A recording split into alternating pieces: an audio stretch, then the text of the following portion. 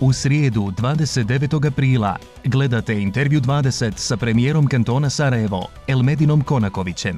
Nemamo vremena za e, čekanje kad je riječ o donošenju nekih hrabrih odluka u sferi stabilizacije, recimo komunalne privrede. Takve često nepopularne i radikalne odluke moramo donositi već u narednih sedmica.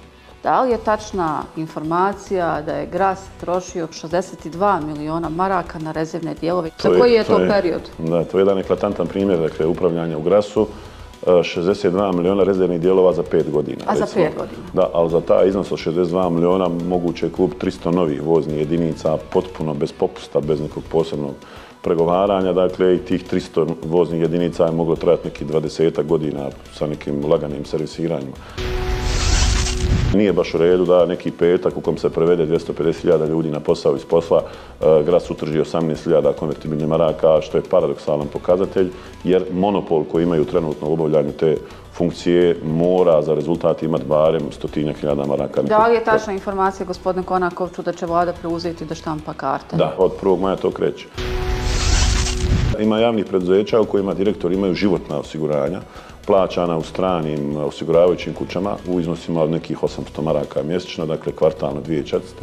I to su sredstva koje oni pri završetku svog mandata povuku kao neku vrstu ušteđevine. Kao predsjednik Košarkaškog saveza BiH o predstojećem europskom prvenstvu i sastavu reprezentacije, Konaković je rekao i ovo. Imate li neku novu informaciju vezano za Nurkić? On je jedan od najboljih igrača Evrope na toj poziciji u svojim godinama prebitan je reprezentaciji Bosne i Hercegovine i bit će na spisku selektora Duška Ivanovića, a ukoliko odluči da ne dođe, to je isključivo njegova ovaj, odluka.